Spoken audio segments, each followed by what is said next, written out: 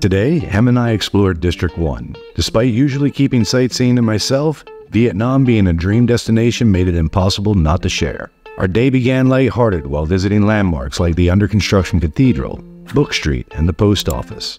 It became a bit more somber when we stumbled upon the venerable Quang monument, where the Buddhist monk famously self-immolated in protest during the war era. Standing there was surreal, surrounded by the stunning memorial and park. Next, we visited the War Remnants Museum. As an American myself, I came into this visit with a level of awareness. This awareness is what sparked my desire to visit Vietnam many years ago. I knew about the atrocities committed during the war, and I've seen the images and heard the stories but nothing quite prepares you for the experience of standing face to face with the stark realities presented in this museum.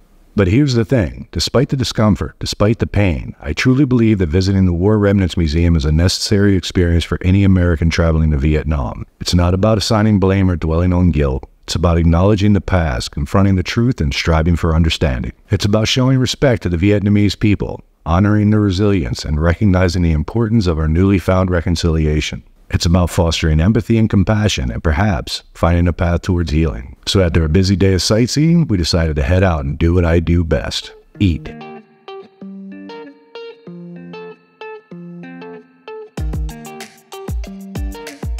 What's up, everybody? Tonight I have made my way over to District 10. This is the Ho Thi Ky Street Market. It's a flower market. We are gonna come through here, check out a bunch of foods. I have been given recommendations from somebody on Facebook of a bunch of things that I need to try around here. Let's check this out.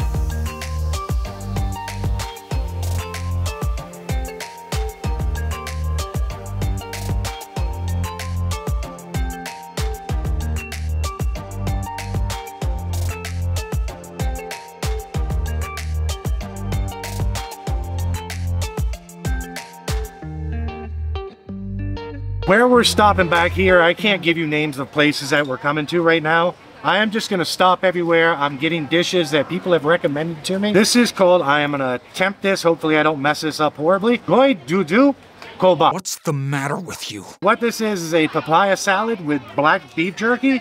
Uh, I've done a lot of research on it. This was recommended to me by someone on Facebook. As best I can tell, it's just beef jerky. What makes it black, I don't really know. Uh, there's some peanuts in it, unripe papaya. It looks like there is some basil in here. There's some rice crackers in here, some peanuts. So let's just see. Here's the uh, black beef jerky. I, I don't know what is supposed to be the big deal with this. Let's see.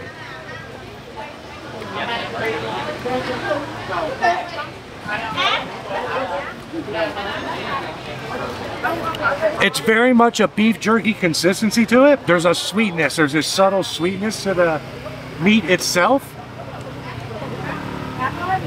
Oh man, that's awesome. We gonna bite just the papaya?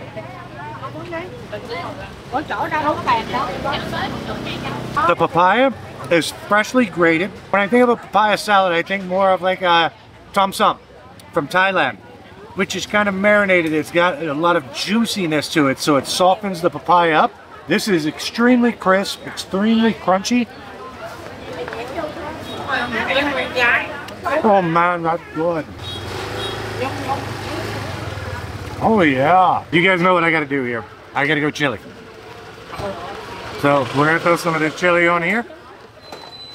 I'm gonna get some of the straight chilies. I'm gonna grab some of the beef jerky, some of the papaya.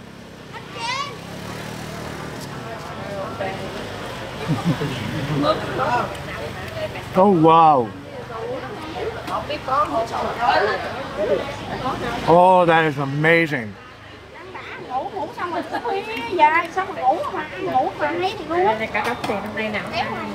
That is so good. Beef jerky papaya salad, uh, despite the fact that I still cannot communicate with anybody, like very little, and it is 100% on me. These guys are amazing. Their food is awesome. Come check them out down here.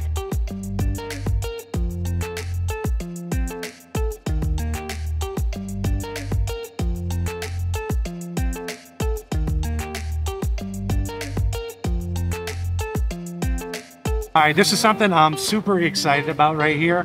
Uh, this is something that was recommended to me. It's kind of in, a, in the vein of balut, uh, and that's it. I'm gonna look over at the sign to make sure I say this right for you as best I can. This is through cut Lon Xiaomi. And what this is, is a partially fertilized quail egg in a tamarind sauce. Uh, looks like there's some peanuts on here. This is either basil or cilantro, but let's see. I don't know if that's gonna focus all that well for you. Hopefully I have another shot there for you. This is the fertilized quail egg tamarind sauce. Let's go. Unlike balut, you don't get that pure eggy taste that you get from balut. It's a little bit more developed, so you're getting a little bit of a crunchy bit with it. The egg white, which becomes calcified once it starts to ferment. It's a bit chewy. There's not a whole lot to it. The tamarind sauce is amazing. Like, It's pretty good. Like I like balut, so this is not gonna. This is gonna be a no-brainer for me. Oh, see the white on it there? That's the calcified part from the egg white itself. And it, it's hard. Yeah, you've had balut before, yeah. Just the sauce. But you've seen a balut all the way open up. There's that little white disc down at the bottom of it. And it's just like an eraser. It doesn't have any flavor to it. But you can bite through it? You can bite through it and you can chew it. It just doesn't have a whole lot of flavor. And it's left in with the quail's eggs. Oh, man. It's like there's a little fried onions in here. Uh, it's definitely not cilantro. To be honest with you, the tamarind sauce is a little bit overpowering, so you don't get a whole lot of flavor from the herbs in it. You notice that they're there in your mouth, but that's about it. The little quail eggs, unbelievable. Oh yeah.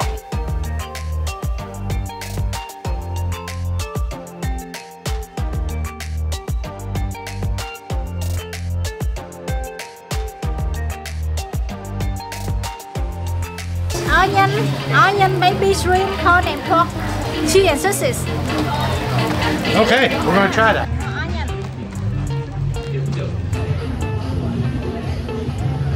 Next thing I'm trying here, this is called Bun Tran Rong. This is uh, basically a Vietnamese pizza. As you saw her putting everything on it over there. Uh, it looks amazing. We're gonna give it a shot, see how it goes. There is pork in here, there's corn in here, there's cheese in here uh, baby shrimp. There's a lot of different stuff inside of here. She's got a chili sauce on this. There's all kinds. So let's give it a go. Oh. Very crispy little piece that's going on. Tons of little flavor in this. Like, you can't go wrong with this. And this is extremely inexpensive.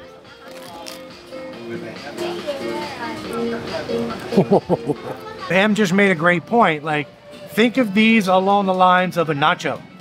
Uh, just kind of folded over itself. It's a great big giant nacho stuffed with all kinds of goodness. Like these are fantastic.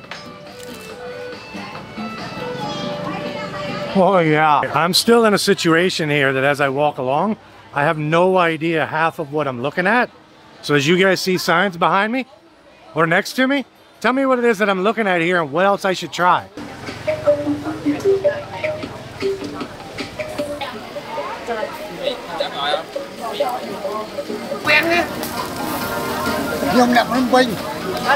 When I was reaching out to people on Facebook, I'm just trying to watch out here and make sure I don't get run over by a motorbike. Uh, when I was talking to people on Facebook, one tour guide that does this area a lot here highly suggested that I do these Cambodian style beef skewers that they have here. So I'm gonna give these a shot.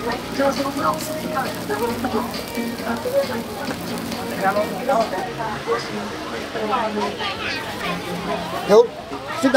The name of the tour guide that told me about this place, her name is Jamie. She wanted to do a little bit of a collaboration. We couldn't make it work out for whatever reason. She's one of the ones that suggested that I come here. She highly recommended these. So this is pan po mai. With the pan po mai, they're beef skewers and they have cheese on them. And then you get a little bit of a salad with it, which is a, looks, it appears to be papaya. Uh, the sauce is on it. I'm gonna guess it's like a sweet chili sauce. Uh, I don't have any idea what the other is gonna have to deal with the motorbikes. It's just what's gonna happen happen when we're down here. So we're gonna give this a shot. Here we go. So Pan Po Mai. This is a Cambodian style beef skewer with cheese on it. Let's go.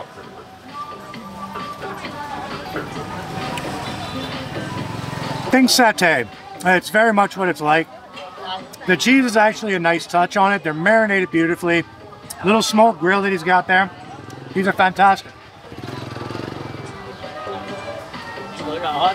Oh, it's. Let's try this little salad. Like I said, it appears to be papaya. Some type of little sauce on it. I have no idea what it is. Let's give it a go.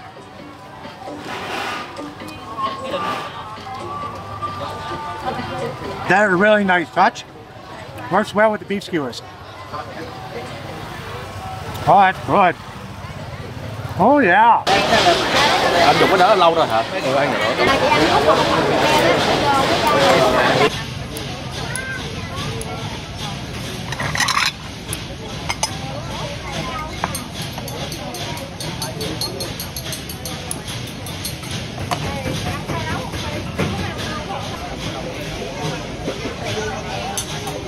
Next thing we're trying here, this is something called pha lau bo. Uh, this also came recommended to me as soon as I heard about this. I was like, yes, please. Uh, this is a basically it's a curry with a bunch of innards in it. I think it's beef innards. I'm not 100% certain. You get a fresh banh mi or a baguette with it, and you're supposed to dip into the sauce and you eat your little soup. So I'm gonna tear just a piece of the banh mi off, but I want to try this broth just on its own. Nothing else yet. It's like no curry I've ever had before. It's very flavorful.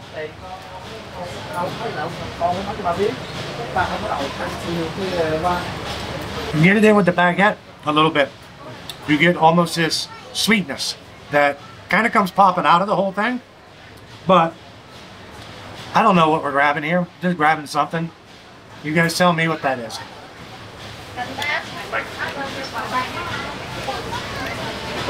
Uh, like liver. Without question.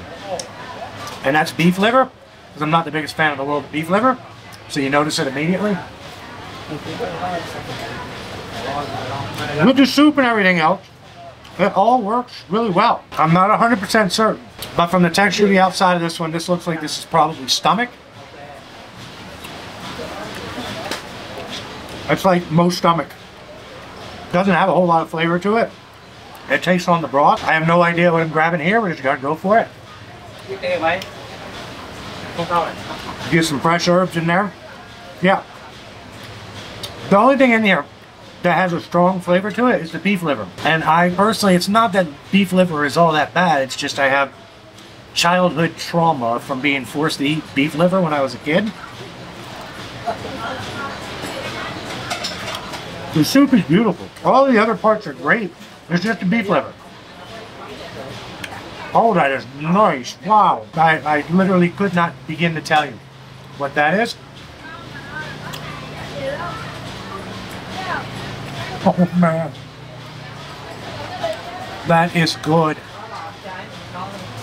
Wow. Pha lau bo here is awesome. This guy makes a great one. If you're in the area, come check this out and see what we can get into.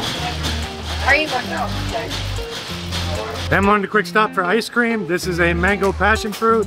She's got what appears to be an ube. It's hot out here. It's nighttime. It's super hot out. That is super refreshing.